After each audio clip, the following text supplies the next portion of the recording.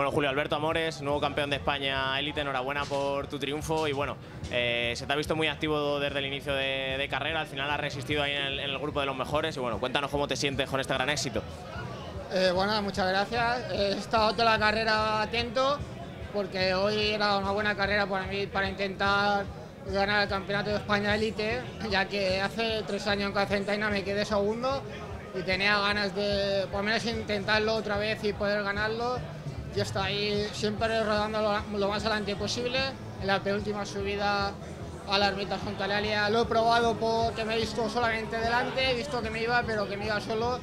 Y al final, antes de bajar, he dicho voy a parar, que esto, la última subida puede ser definitiva. Bueno, la última subida ha estado ahí adelante, me ha faltado un poquito para entrar en el grupo de adelante. Hemos entrado a falta de los dos últimos kilómetros y bueno, en el sprint iba bien colocado a Rueda Dubletano que iban lanzando para Vicente y bueno, al sprint he tenido la suerte de que pues, he sido el primer élite. Y bueno, a nivel de confianza, supongo que verte aquí compitiendo con ciclistas del World Tour, de Pro Continental, cara a cara contra ellos, supongo que importante, ¿no? Para el resto de temporada saber que estás en un gran estado de forma.